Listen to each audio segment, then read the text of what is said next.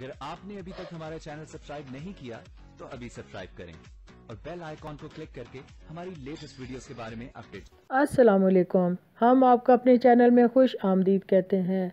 اسد باہر چلا جاتا ہے بزنس کے حوالے سے اور اس کی ماں گھر میں زارا کو بہت زیادہ تنگ کرتی ہے۔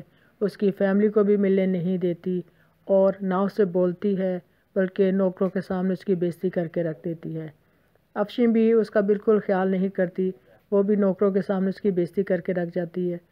زارا چاہتی ہے اسد واپس آ جائے تاکہ وہ اپنے دل کا بوجھ تھوڑا سا ہلکا کر سکے، لیکن ماں اس کی واپس نہیں آنے دیتی، بلکہ اوور سٹے کی وجہ سے اس کو پولیس ارسٹ کر لیتی ہے۔ لیکن اس کی ماں کو ذرا بھی پرواہ نہیں ہوتی، بلکہ خوش ہوتی ہے کہ چند دن یہ اور وہاں پہ رک جائے گا اور اپنی بہو کو کہتی ہے کہ تم جو مرضی کر لو۔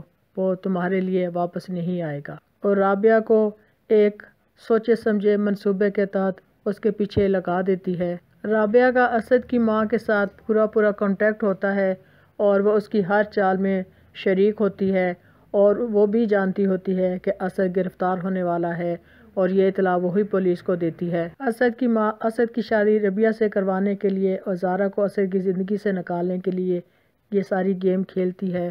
لیکن وہ یہ نہیں جانتی رابعہ جب اتنی بڑی گیم مل کر کھیل سکتی ہے تو وہ اس کو اسد کی زندگی سے نکال بھی سکتی ہے۔ تب یہ ماں بیٹھ کے روئے گی اور اپنے بیٹے کو یاد کرے گی۔ ہماری ویڈیو کو لائک کریں، شیئر کریں اور سبسکرائب بھی۔